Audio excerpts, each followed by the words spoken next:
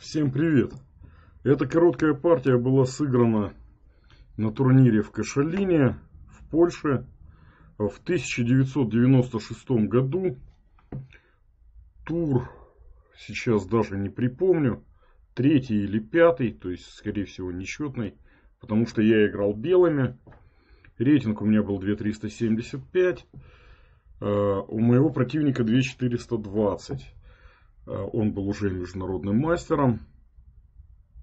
По-моему, так. А, эту партию, она не попала по, по непонятной причине в базе. И совершенно случайно на сборах на школе Спасского в Садке мой противник Николай Толстых,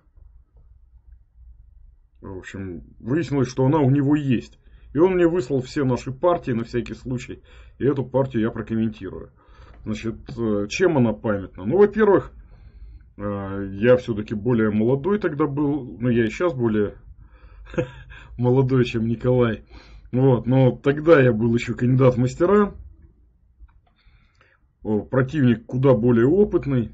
Ну и итогом явилось, вот в этом турнире я выполнил свой первый балл международного мастера. Перевыполнил его на целое очко. То есть я выполнил по 9 турам и в 10 еще обыграл гроссмейстера Колина Макнаба, еще бы эту партию найти. Но подозреваю, что Колин мне ее не даст.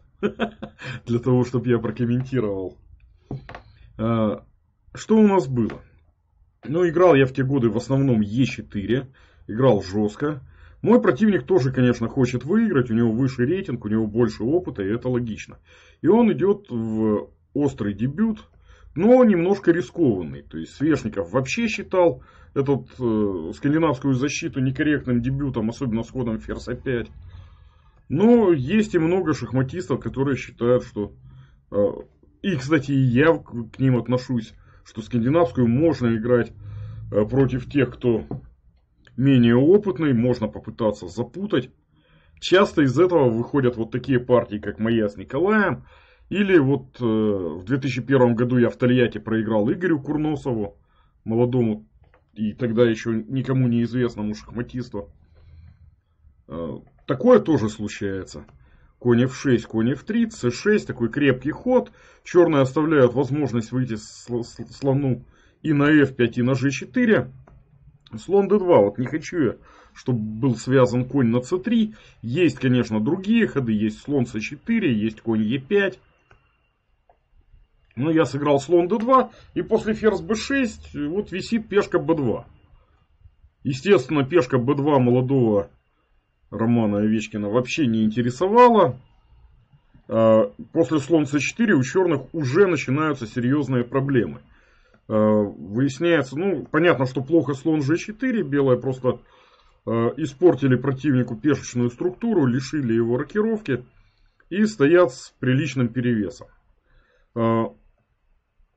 Не очень хорошо и слон f5. Здесь сильно ферзь e2. Ну и все взятия на b2, на c2, они возможны, но ведут э, к быстрому проигрышу. А самое четкое e6 после длинной рокировки ставит э, перед черными огромные проблемы. То есть конь идет, ну, после конь bd7, конь, конь заходит за слоном, у белых лучшая пешечная структура, то есть э, пешка h4 зафиксировала пешки g7 и g6.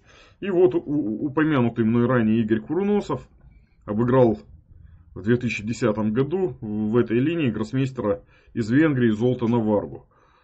А, ну, у нас-то речь о моей партии. В общем, вы все это посмотрите, файлик будет прикреплен а, к описанию.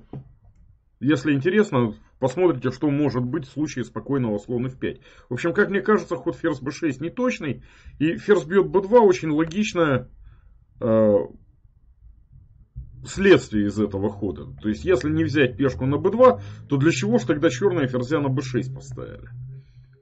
Э, я не помню, кто из великих. По-моему, Пауль Керес, э, кто-то из великих говорил, что пешку на b2 э, плохо брать даже в тех случаях, когда это хорошо. Вот. Но эта партия явилась подтверждением тезиса. То есть, ну, действительно, все мы знаем, что пешкоедство опасная болезнь. В общем, ферзь бьет b2. Пока ладья b1 не хожу, хотя стоило бы. Я предпочел пока рокировать. А, более сильный ход, конечно, ладья b1, отогнать ферзя на a3, где он расположен э, как-то похуже. У нас уже ладья работает. e6, то есть тоже слона на g4 выводить опасно. На f5 можно, но после... Так, виноват. На f5 э, можно, но после слон b3 начинает грозить а4. Сейчас, да елки-палки. Впрочем, а3 тоже угрожает, да. В общем, движение пешки А с дальнейшим ладья А2 и поимкой ферзя. А, приходится играть ферзь А3, ну и у белых мощная инициатива, конь Е5, Е6, там Ж4 вообще. Если слон Ж6, то H4. То есть, ну, видно, что у черных можно пока, кстати, ладья Е1, допустим, пойти. Тоже вполне нормально. Видно, что компенсация у белых огромная. Э, ход Е6 достаточно логичен. Ладья Е1, слон Е7. По какой-то причине я ранее не ходил ладья Б1. Тут смотрю, уйдет ферзь на Б6. Он там расположен явно лучше, чем на А3. И э, сыграл ладья Б1.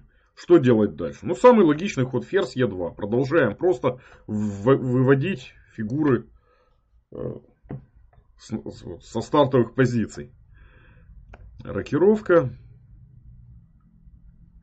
Ну и как-то надо доставать этого короля. Как? Без конь Е4 вообще никак не обойтись. Конь F6 защищает э, короля G8. Его надо разменивать. В случае конь BD7 могло случиться нечто похожее на то, что в партии. Ладья B3 висит ферзь. Брать на А2 крайне опасно. Там ладья все время грозит на G3 перейти, да и на B7 она может забрать. И со сходом э, слон c3 надо считаться, после ферзь бьет а2, допустим. Слон c3 и угрожает вообще ладья а1. Не видно достойной защиты. Вот. А после ферзь а4, конь c3, мы заходим за чернопольным слоном. Можно сейчас сыграть слон b4, но мне нравится конь e5 с идеей ладья g3. И слон белых может использован быть и на b4, и при случае на h6 или на g5. То есть у черных серьезные проблемы. А, мой противник взял на e4 и повел второго коня на f6. Ну тут, естественно, ладья b3, мы ведем ладью на королевский фланг. А, теперь, если ферзь бьет а2, то после слон c3 как-то черный ферзь немножко заблудился. И, скорее всего, черные его сейчас потеряют. Последовало конь f6. Ну и здесь, конечно, ферзь уже ушел на h4. То есть теперь снова на a2 брать опасно. На этот раз из-за слон d3. С неприятной угрозой слон g5. То есть времени на спокойное завершение развития, вот скажем b6 у черных нет. После слон g5 угрожает мата на h6.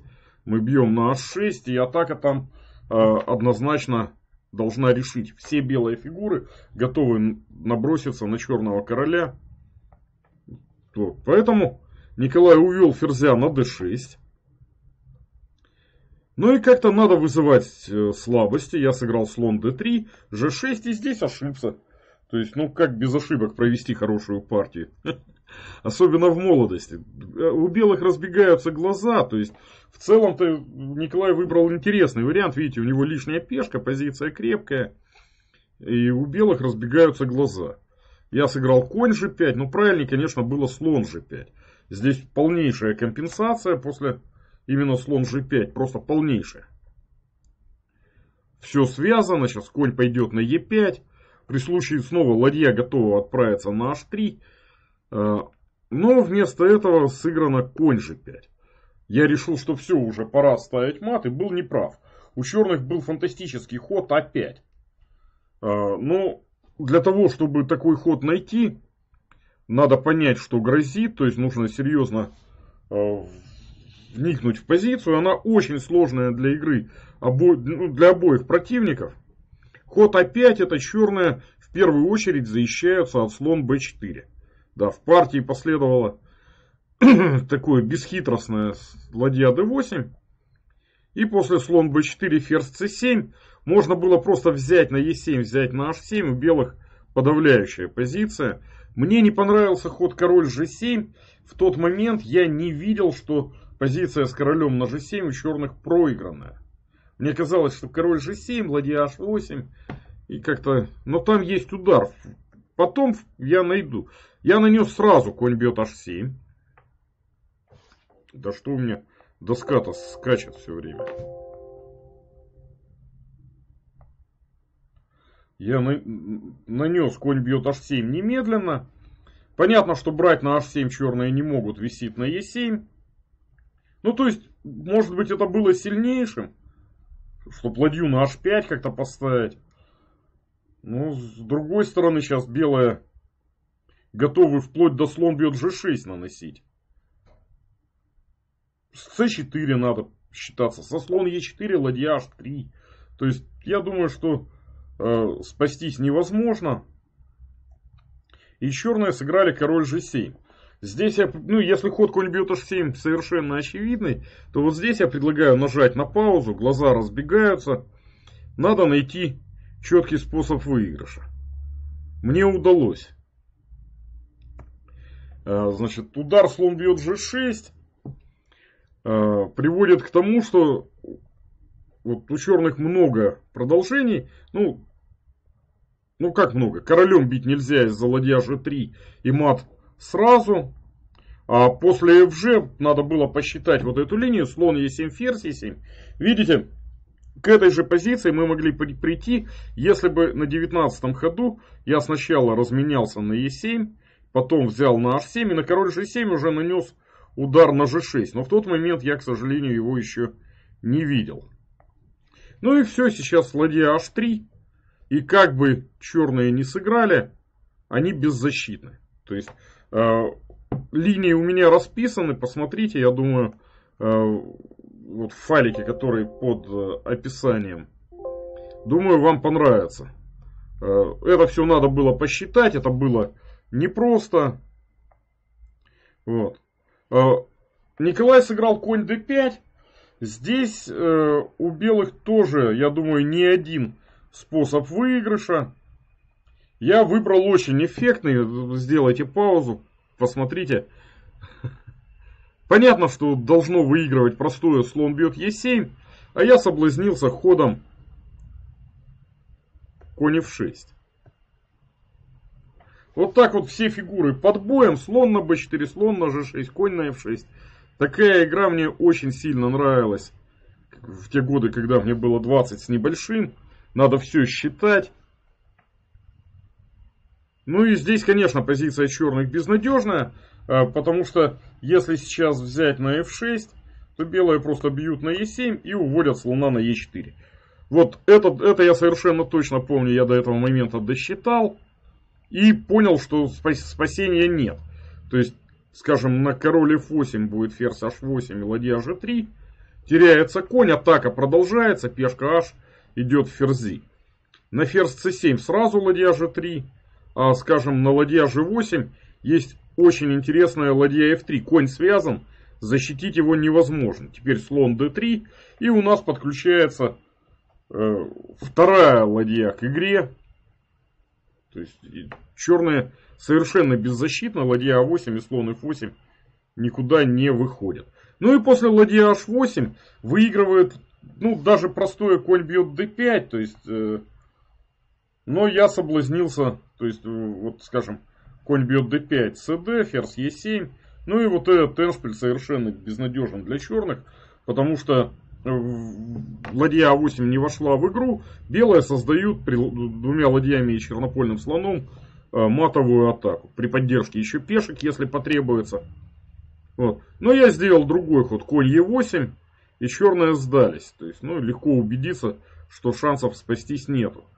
Понятно, что ладья Е8 это очень быстрый мат. То есть все это требовалось посчитать в уме, но считаются такие варианты достаточно легко. На король бьет g6 достаточно взять на h8, висит ферзь, угрожает ферзь g7, угрожает ладья g3. То есть тоже очевидно, что черным не спастись. Ну и после король g8 можно взять на f7, взять на h8 с теми же проблемами у противника. В общем, огромное спасибо Николаю Толстых за соучастие в этой партии, еще большее за то, что он сохранил эту запись. Надеюсь, что вот этот каскад ударов вам понравился. Спасибо за внимание. Обещаю, что найду еще что-нибудь интересное, чтобы вам показать.